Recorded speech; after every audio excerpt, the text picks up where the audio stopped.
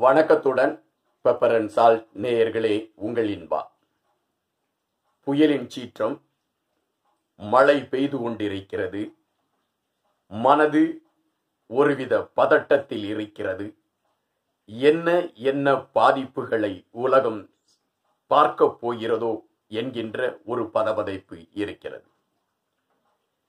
இயற்கையை மனிதன் அழித்துவிட்ட காரணத்தினால் இயற்கை மனிதனை நரவேட்டை நடத்த தொடங்கி இருக்கிறது என்ற தகவல்தான் இப்பொழுது மேலோங்கி இருக்கிறது. இந்த காணொளியில் இன்று நம்மை மிரட்டிக் கொண்டிருக்கின்ற சூறாவளி போல பல சூறாவளிகள் உலகத்தை மிரட்டி இருக்கின்றன. அதில் குறிப்பாக பரபரப்பாக பேசப்பட்ட சில சூறாவளிகளை குறித்து இந்த காணொளியில் காண்பது சிறப்பாக இருக்கும் என்று நான் நினைக்கின்றேன்.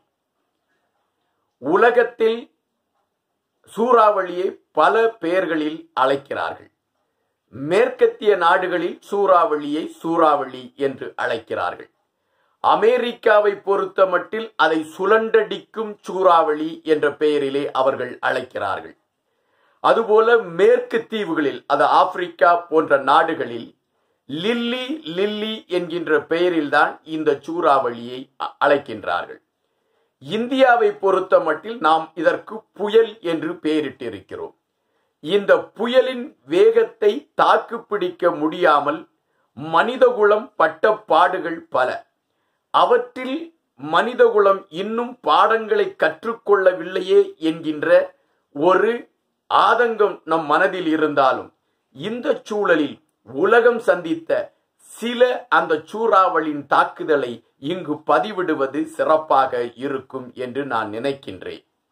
ஆயிரத்தி தொள்ளாயிரத்தி நாற்பத்தி இரண்டாம் ஆண்டு அக்டோபர் திங்கள் பதினாறாம் நாள் பங்களாதேஷ் ஒரு பெரிய சூறாவளியில் சிக்கி சின்னா பின்னமானது கிழக்கு கடற்கரை பகுதியிலிருந்து அந்த சூறாவளி சுழண்டடிக்க ஆரம்பித்தது.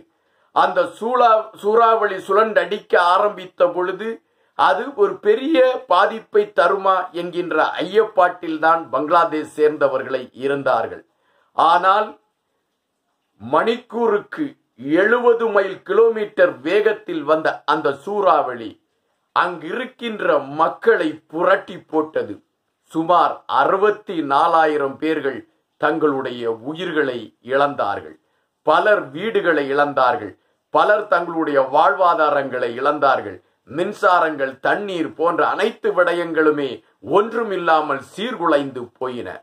இந்த சூறாவளியிலிருந்து தன்னை மீட்டுக் கொள்ள பங்களாதேஷ் பெரும் பாடம் படிக்க வேண்டியது இருந்தது.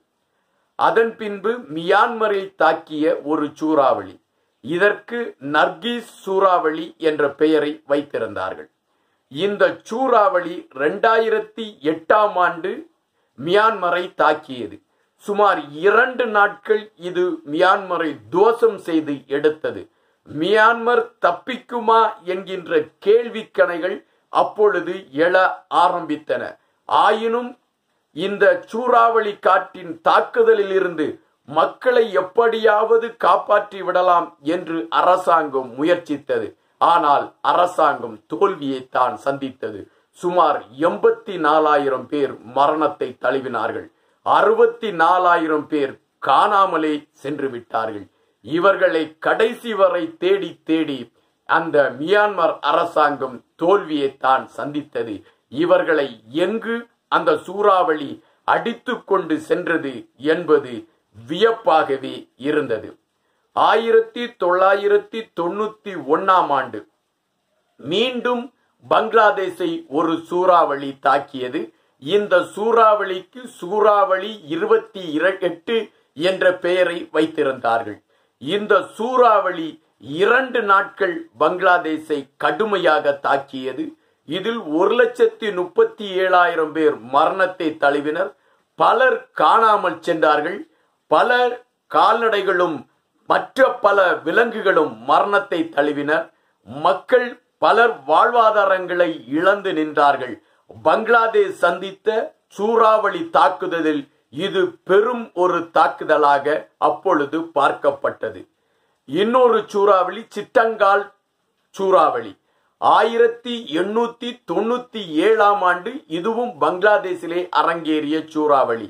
இந்த சூறாவளியை குறித்து வானிலை ஆய்வாளர்கள் தெளிவான தகவல்களை வைக்கவில்லை. ஆயினும் அந்த காலத்தில் இருந்த ஏடுகள் அந்த காலத்தில் இருந்த சில குறிப்புகளை வைத்து இந்த சூறாவளியை குறித்து கணிக்கப்பட்டது.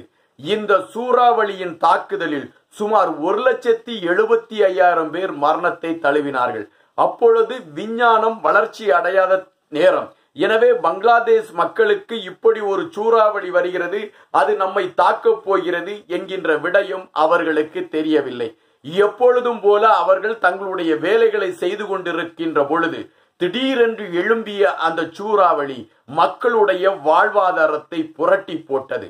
மக்கள் பயந்து ஓட ஆரம்பித்தார்கள். அப்பொழுதுதான் அவர்களுக்கு இந்த சூறாவளியின் ஆதிக்கம் தெரிய ஆரம்பித்தது. பலர் காணாமல் போனார்கள். பலர் தங்களுடைய வாழ்வாதாரங்களை இழந்தனர். பெரிய குளங்கள் ஏரிகள் உடைந்து பங்களாதேசே நீரில் மிதக்கின்ற ஒரு சூழலுக்கு தள்ளப்பட்டது. இன்னொரு பெரும் புயல் இந்தியாவை தாக்கியது. அந்த புயலின் பேர் கோரிங்கா புயல் என்று அழைக்கப்பட்டது. இது ஆயிரத்தி எண்ணூத்தி முப்பத்தி மூன்றாம் ஆண்டு இந்த புயல் தாக்கி இருக்கிறது இந்த புயல் தாக்கிய அந்த வேளையில் எப்படி சுனாமி ஒரு அலைகளை எழுப்பி மக்களை காவு வாங்கியதோ அதுபோல கடல் சுமார் நாற்பது அடி உயரத்திற்கு அலைகளை எழுப்பி அந்த கடற்பகுதியில் இருந்த பெரும்பாலான மக்களின் உயிர்களை அது பறித்து விட்டது. மக்கள் தப்பிப்பதற்கு கூட வழி இல்லாமல் பெரும்பாலான மக்கள் மரணத்தை தழுவினார்கள். இதில் சுமார் நாற்பதாயிரம் மக்கள் மரணத்தை தழுவியதாகவும் மூன்று லட்சம் பேர் பாதிக்கப்பட்டதாகவும் அப்பொழுது தகவல்கள் முன்னெடுக்கப்பட்டன. விஞ்ஞானம் எவ்வளவுதான் வளர்ச்சி அடைந்து கொண்டிருந்தாலும் மெஞ்ஞானம் எவ்வளவுதான் கடவுள்களை பற்றி கூறிக்கொண்டிருந்தாலும் விஞ்ஞானம் அடிக்கடி தன்னுடைய ஆளுகையை இந்த உலகத்தில் காட்டிக்கொண்டுதான் இருக்கிறது இயற்கையின் அந்த அதிரடி ஆட்டத்தில் மனிதன் பல நேரங்களில் ஆடி போகிறான். அந்த ஆடி போகின்ற மனிதன் இந்த மண்ணிற்கு தான் தான் மகாராஜர் ராஜாக்கள் என்று நினைத்து கொண்டு வாழ்வியலை அமைத்துக் கொண்டு இருப்பதால் இன்னும் பல சீர்கேடுகள் நம்மளை துரத்தி கொண்டு இருக்கின்றன. இப்பொழுது கூட பல அதிர்ச்சி தகவல்கள் நமது மனதிலே பயத்தை உருவாக்கி கொண்டிருக்கின்றன. இதுவரை அண்டார்டிகாவில் இருக்கின்ற பனிகள் தான் உருகி கொண்டிருப்பதாக சொன்னார்கள். இப்பொழுது சீனாவில் இருக்கின்ற பனிக்கட்டிகளும் உருகத் தொடங்கிவிட்டன. இப்படி உருகத் தொடங்கிவிட்டால் இன்னும் சில ஆண்டுகளில் கடலின் நீர்மட்டம் உயர்வதற்கான வாய்ப்பு இருக்கிறது என்று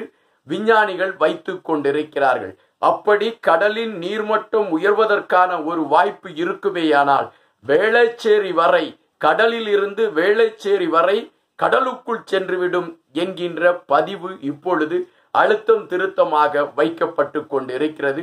இரண்டாயிரத்தி இருபத்தி ஆறுக்குள் இது அரங்கேறிவிடும் என்கின்ற ஒரு அதிர்ச்சி தகவலும் உலா வந்து கொண்டு இருக்கிறது. இந்த உலகம் மனிதனின் சுயநலத்தில் இன்னும் என்ன என்ன விடயங்களை தான் காணப் போகின்றதோ காத்திருங்கள். நானும் உங்களுடன் இன்பா.